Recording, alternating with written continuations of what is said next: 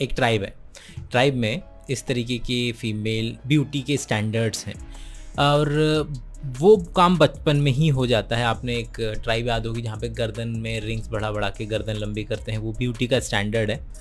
और यहाँ पर किस तरीके से जो हेड की हेड को शेप दी जाती है स्पेसिफिकली और वो बचपन में ही दी जाती है क्योंकि उस वक्त मोल्ड करना बड़ा आसान होता है। ये बात दिखाने के लिए कि किस तरीके से कि आपके जो ब्यूटी के स्टैंडर्ड्स हैं, हो सकता है आपको बड़े अजीब लगे और आपको ये क्रूरता लगेगी कि यार बच्चे के सर पे इस तरीके से, किस तरीके से कर दिया जा रहा है। हाय अठारह अगस्त है जहाँ हम ऑलमोस्ट ऑलमोस्ट रोज़ाना इसलिए मैं बोल रहा हूँ क्योंकि हो सकता है कि अगले एक दो दिन वीडियो ना कहीं जाना है।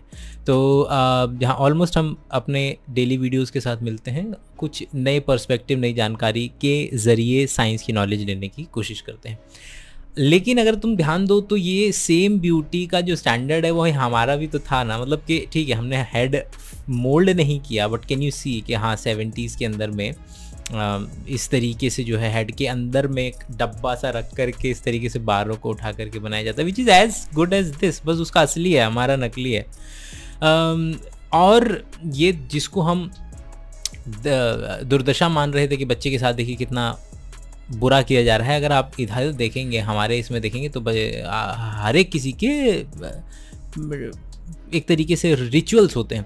और इंडिया में आपने देखा होगा कि बच्चों को शहद चटाने का जो है रिचुअल है। सरकार बोलते बोलते मर गई कि भैया ऐसा है कि छः महीने से पहले ना बच्चे को माँ के दूध के अलावा ना पानी भी नहीं देना है। मतलब पानी भी नहीं देना है, लेकिन वो मानने से राज़ी कहाँ है? तो भाई आपको भी इंफॉर्मेशन पहुँचा रहे हैं कि भाई देखिए, ऐसा है कि बच्चे का जो गट सिस्टम होता है ना, वो पूरे तरीके से डेवलप नहीं हुआ है।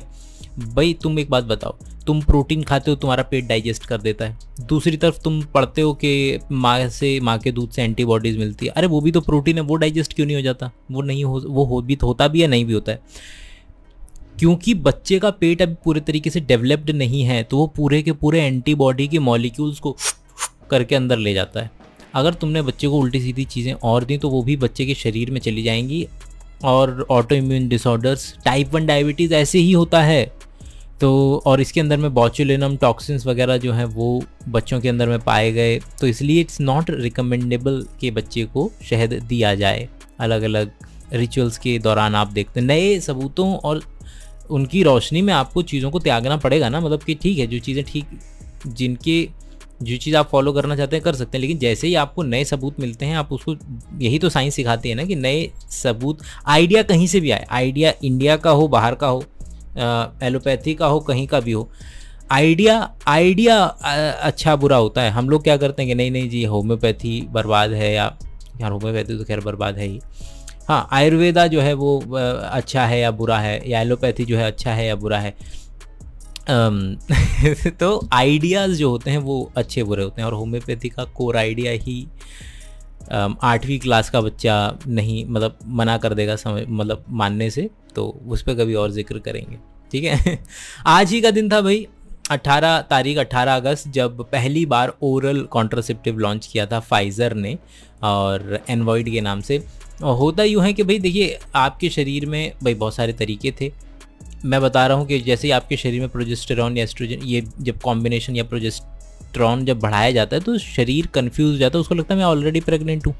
ऑलरेडी प्रेगनेंट हूँ तो वो एलएच और एफएसएच को कम कर देता है। तो ये भाई जो देखो साइंस के अंदर में बिना सबूत और के बात तो की नहीं जा सकती तो ये जो लिंक्स हैं मैं हमेशा आपको कमेंट में या नीचे डिस्क्रिप्शन में हमेशा भेज दूँगा। रिकमेंडेशन है ये वाला कि एमरजेंसी कॉन्ट्रासेप्टिव के ऊपर एसेप साइंस की बहुत प्यारी सी वीडियो अगर आप देखना चाहें तो। आज 18 अगस्त के दिन आ, सर फ्रेडरिक बॉडविन जो है पैदा हुए थे। इन्होंने ये बताया इन्होंने ये पता किया भाई इनसे पहले टोबैको मोजेक वायरस की डिस्कवरी हो चुकी थी लेकिन इन्हों उनको मिला इसके अंदर में आरएनए मतलब आरएनए हर सेल कोई भी सेल ऐसी नहीं है दुनिया के अंदर में जिसके अंदर में आरएनए मौजूद न हो।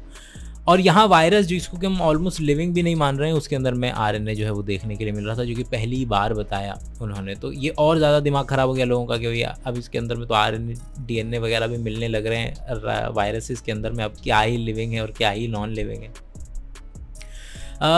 आज के दिन डेथ हुई थी रिचर्ड साइंग की जिन्होंने पेपर क्रोमेटोग्राफी के लिए जिन्हें नोबेल प्राइज़ मिला था तो पेपर क्रोमेटोग्राफी आपकी एन में भी है फोटोसिंथेसिस वाले चैप्टर के अंदर में, कि किस तरीके से जो पिगमेंट जब आपने एक जगह लगा दिया तो एक पिगमेंट तो होता नहीं है pigment chlorophyll A B xanthophyll carotenoid दस तरीके के पिगमेंट होते हैं। पिगमेंट है तो पिगमेंट का स्ट्रक्चर भी अलग होगा।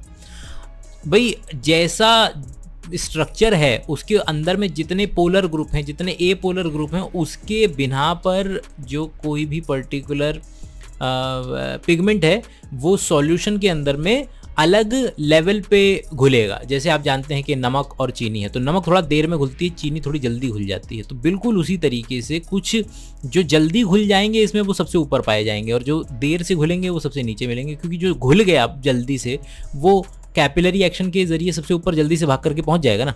तो ये था इस वाले का। तो अच्छा इतना ही है। ओके, वैसे पाँच मिनट हो चुके हैं, पाँच मिनट से ज़्यादा क्या ही सुनोगे तुम।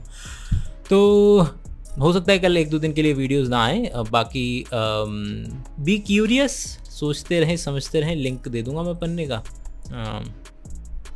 और ख्याल रखें अपना। Bye bye